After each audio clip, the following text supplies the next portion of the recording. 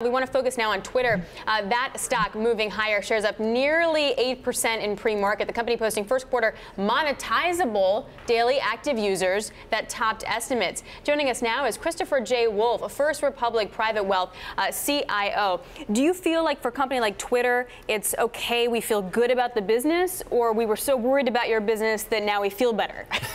That's an interesting framing. I guess I'd put it this way: is uh, Twitter belongs to a, a camp of a number of companies that are disruptors and kind of like Amazon and Walmart and others going way back, disruptors have an interesting place in the stock market. They get a pass from most uh, investors around the earnings numbers because there's lots of reinvestment, lots of things going on. And two is you tend to look at the top line more than anything else. So uh, I think markets like this one, where you're focusing on uh, monetizable daily average users and a bunch of other interesting metrics, we had similar ones in the 90s and 80s, by the way, uh, really get to the idea that it's a disruptive technology. And we're going to look at this model of valuing companies like this in a winner take all mode. So that's really the challenge because they never take all, it's just how much. What do we need out of tech to really keep this rally going?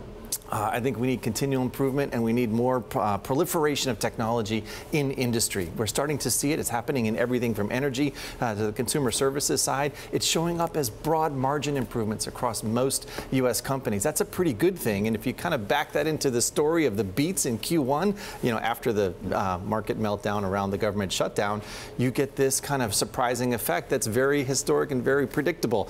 CEOs guide, put guidance down. They beat it by a little bit. But the best thing about, I think, this qu quarterly season is that the top line numbers are coming in pretty good, too. We're seeing 3 to 4% organic growth. I think Coca Cola was a good example of that. Mm -hmm. Well, and not only talking about tech, but in terms of Twitter, this is a fun stat for you. Ready? Uh, the company said 38% of abusive content is being found through technology, disruptive, and flagged for human review, up from none last year.